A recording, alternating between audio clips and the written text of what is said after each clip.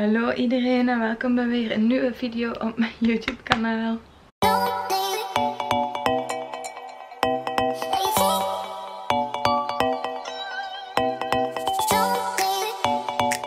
Vandaag wou ik eigenlijk niet vloggen. Maar ik loop achter met mijn vlogs. Dus als ik niet vlog dan komt er vrijdag geen vlog. Maar ik heb eigenlijk een redelijke shitty day. Toch, Celine stuurt. Toch is er vandaag um, goed nieuws gekomen door de Veiligheidsraad dat we meer mensen mogen zien, 10. En dat we terug op restaurant mogen en zo. Dus dat is allemaal heel fijn. Maar ik voel me best kut. Ik heb thans goed geslapen. Maar mentaal voel ik me vandaag niet helemaal blij en happy. En het is ook gewoon te merken aan mijn buik. Mijn darmen zijn echt helemaal op hol. Dus uh, mijn buik is echt helemaal. En ik ga het zo laten zien. Zo ziet je het al gewoon. Ik ben echt precies zwanger. Ik ben niet zwanger by the way, maar het lijkt zo. Ah, muffin. Muffin heeft op mijn vers gewassen dekens gelegen. Muffin. Ik zelfs nog even opnieuw wassen. sinds, ja, ik weet het niet. Ik ben gewoon opgestaan met een redelijk gestrest gevoel. Terwijl ik vandaag niks heb om over te stressen. Maar ik denk onrechtstreeks dat de verhuis mij doet stressen. Um, ik heb geen goesting om weer te verhuizen. Oké, het is al een jaar geleden, maar dan nog, dat is redelijk snel in mijn hoofd. En ik woon hier graag, dus dan vind ik het zeker niet leuk om te verhuizen. Omdat ik hier echt oprecht heel graag woon. Mm, maar ik kijk er natuurlijk ook heel hard naar uit om samen met Niels te gaan wonen. En ik ben er 100% zeker van dat ik in het nieuwe huis ook echt super, super, super graag ga wonen. Maar ik denk gewoon dat dit verhuizen mij een beetje stressy maakt. Want oké, het is nog wel een maand. Het is vandaag de derde, denk ik. Dus het is ja, nog 27 dagen. Maar ik heb het gevoel gewoon dat ik zoveel dingen heb. Ook al heb ik pas verhuisd en veel weggegooid, ik heb nog heel veel. En ik denk gewoon dat dat mijn darm is geslaan. En daarom dit is. En ik weet, ik moet niet klagen. Ik... Allee, iedereen mag klagen. Iedereen heeft wel eens het recht om af en toe eens te klagen. Maar ik weet dat dit echt maar iets heel klein is. En een klein stommigheidje. Maar ik voel me gewoon, ja, kut. En ook omdat mijn buik zo betand is vandaag, voel ik me nog meer vervelend. Maar oké. Ik heb hier genoeg gezegd, maar ik wou gewoon even ook laten weten dat niet altijd roze geur en maneschijn is. En heel veel mensen zeggen altijd, Alisa, hoe komt dat je zo positief bent en altijd zo blij en gelukkig? Maar ik ben echt niet altijd blij en gelukkig. Ik probeer dat heel hard en ik probeer ook altijd heel positief te zijn. Maar ik heb ook wel mijn momenten dat ik dat niet voel. En dat ik mij gewoon mentaal niet goed voel een dag en me minder voel. Dus ja, dat is duidelijk vandaag. Oké, er zijn wel ergere dingen in deze wereld. Dus uh, ik ga niet zagen, maar ik ga inpakken. Ik heb trouwens ook een afspraak gemaakt deze morgen voor acupunctuur. Eerste keer ooit dat ik dat ga proberen. Maar mijn homeopaat had dat in maart al aangeraden. Omdat mijn darmen en mijn buik, ja het zijn vooral mijn darmen ze maar ja, zo ziet je het, het doet het niet zoveel justice, maar mijn buik is echt heel hard opgeblazen. Maar um, het zijn vooral dus mijn darmen. En hij zei, hij zei dat um, heel goed is voor stress weg te helpen. Ik heb blijkbaar onrechtstreeks en onderbewust heel vaak stress. Je merkt dat niet aan mij, maar ik voel het vaak wel. En um, hij zei dat acupunctuur er heel goed in zou helpen. Dus ik heb een afspraak gemaakt met, ik weet de achternaam niet, maar ik denk dat hij Wim noemt. In Herk de Stad. Dus ik ben heel benieuwd. Daar moet ik volgende week naartoe. En ik hoop dat dat ook wat gaat helpen natuurlijk. Dat heeft tijd nodig, zoiets. Dat is met alles. Dat heeft sowieso even tijd nodig, maar ik ga zien hoe dat allemaal gaat gaan. Maar nu ga ik dus inpakken. Sorry voor mijn rant. Ik ga verder inpakken.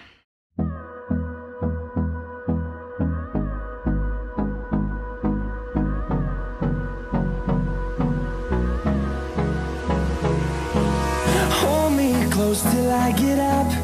Time is barely on side.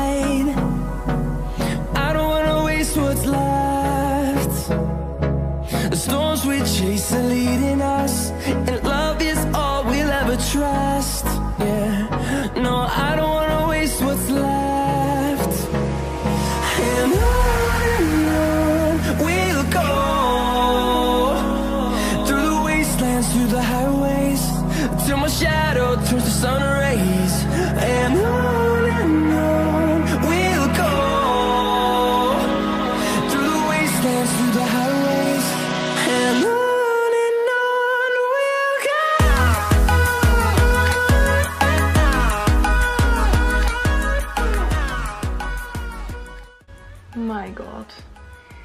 ben echt zo beschaamd over de hoeveelheid kleren dat ik heb. Het is echt niet normaal. En ik ben een jaar geleden verhuisd. Toen heb ik al heel, heel, heel, heel veel weggedaan. Maar echt heel veel. En nu heb ik al terug heel veel kleren. Oh. En het ergste van alles, ik ga erdoor. En er is niks wat dat ik wil wegdoen. Maar ik heb vorige keer echt heel veel weggedaan. Dus nu wil ik zo niks meer wegdoen wat ik nu nog heb. Maar vooral joggings. Ik heb echt 1, 2, 3, 4, 5. In totaal gaan dat sowieso 8 of 9 zakken van die action zakken van die grote. Vol met joggingsbroeken en joggingsblouses zijn. Oké, dat draag ik ook wel heel veel. Maar dan nog. Oh. En ik heb ook één stapeltje fitnesskleren laten liggen. Want de fitness zou maandag terug open gaan. Dus dan kan ik misschien terug gaan fitnessen. Dus dan heb ik dat wel nodig. En voor de rest, ja, moet ik alles aan inpakken. Maar, oh. En dit zijn echt gewoon alleen nog maar kleren, hè. Laat staan alle andere rommel die ik heb. Oké, ik ga nog heel even verder doen. Een half uurtje denk ik. Daarna ga ik koken. Turn us to thousands, and we'll grow in number. Fueled by them to see the horizon. Turn us to thousands. Alrighty, dit is de view. Al deze zakken zijn joggings. Dat is ook nog joggings. Dus ehm, ja, I'm a sporty girl. Hè. Not. I'm a lazy ass die graag in joggings zit. Oh, amai, dat is veel joggings. Ik schaam me echt. En dan deze dozen zijn al kleren. Daar staat er nog één. Onder die zak. En deze kast is zo goed als leeg. Hier heb ik nog één jasje. Ik weet niet waarom, maar dat ging niet meer in die doos. Dus daar ga ik nog ergens anders in doen. Sportkleren als ik die eventueel nog wil aandoen. Dit zijn joggings die ik misschien nog wil aandoen. En dit zijn sportkleren die ik misschien nog wil aandoen deze maand. En daar ehm, mijn sporttas voor als de gym terug open gaat. Want ik hoorde dat de lockers en de eh, kleedkamers sowieso niet gebruikt mogen worden. Dus ja, dit is de situatie dan. Daar staat ook nog best veel rommel. Ehm, dat, zijn, dat zijn kleren die weggaan. Dat zijn dingen die mee moeten. Dat onderste tafeltje gaat ook weg. Hier heb ik nog twee mom jeans broeken hangen. Een van Naked, een van de Zara. Voor als ik die nog wil aandoen deze maand. Als het niet zo mooi weer is. Want volgende week wordt het kouder. Dus dan moet ik een broek hebben. Dan nog een playsuitje voor als ik dat wil aandoen. En nog een zwart playsuitje met lange mouwen. Al mijn topjes en blouses moet ik nog doen. Die boxen kan ik zo meenemen, maar die met de body spuilt uit. Dus daar moet ik ook nog iets aan doen. Die boxen kan ik ook zo meenemen. En dit zijn eigenlijk vanaf eh, hier, vanaf deze blazer, allemaal nieuwe items van of Totally Too of Naked. Of dingen zoals Bershka wat ik heb besteld. Dus hier moet ik nog even doorgaan. Als ik daar iets van terug naar Totally Too wil doen of iets wil verkopen nog of zo. Ik weet het nog niet. En dit zijn eigenlijk nog blazers die ik nog moet inpakken, maar dat ga ik nu niet meer doen. Dus uh, het is toch al iets, hè. Ik heb al iets gedaan, weet je. Ah. Oké, ik heb zo net eten gemaakt. En uh, het ziet er heel veel uit. Maar dat is omdat ik vandaag geen carbs heb gegeten. Dus no carb day. Dat is geen koolhydraten bedoel ik. Ik uh, ga dat nu zo proberen. Eén dag geen carbs, één dag wel carbs. En als ik dan workout doe, dan eet ik wel carbs. Maar vandaag had ik de hele dag geen carbs. Dus het ziet er veel uit. Maar dat heb je ook wel echt nodig als je geen carbs eet. Dit is mijn maaltijd. Het ziet er niet super, super lekker uit. Maar we hebben scampi brochettes met gebakken tomaatjes in lookboter. En dan hebben we asperges, witte asperges, gewoon peper, zout en een olijfolie goed gebakken. Ik moet zeggen, het is echt heel lekker. Het smaakt. Mm. En die scampi's en lookboter. Echt een aanrader. Ik heb trouwens, Milky zit trouwens in de kattenbak als je dat hoort. Maar ik heb trouwens mijn asperges zelf moeten schillen voor de eerste keer. Normaal koop ik er geschilde. Maar die waren er niet meer. En ik moet zeggen dat het goed gelukt is. Ik heb geen harde stukjes, dus... Hallo iedereen. Het is de volgende middag. Ik kom net terug van kantoor. En uh, it's Milky's birthday. Milky wordt zes jaar vandaag. Zes jaar al. Mijn kleine Milks. En uh, Milky is overal aan het wrijven. En ik had een uh, box besteld op um, Surprise Your Pet. Zo noemt het. Surprise Your Pet. En um, de website is www.surpriseyourpet.be Want ik vond dat hij toch iets extra verdiende. Hè? Op zijn birthday. Muffin is er natuurlijk ook bij. Want die mag meevieren. En we hebben echt super, super, super leuke dingen in de box. Het leukste vind ik een bellenblaas. Dus dit is de bellenblaas. Ik heb hem al open gedaan. Ziet er zo uit. En kijk. Dat blaast dus belletjes. En die belletjes blijven zo liggen. En dan kunnen ze die zo met hun poten kapot maken. Net waren ze er heel goed mee aan het spelen. Maar nu zijn ze even gestopt. Omdat ik ook catnip had gespreid. Dus ze waren hier zo wat bezig. Er zitten speelsnoepjes in. Een bal om snoepjes in te doen. Stokjes. Nog snoepjes. En nog snoepjes. En nog een speeltje voor de katjes. Er zit ook van Edgar Cooper een blikje eten bij. Nog een balletje. En nog een speeltje. Pak het maar.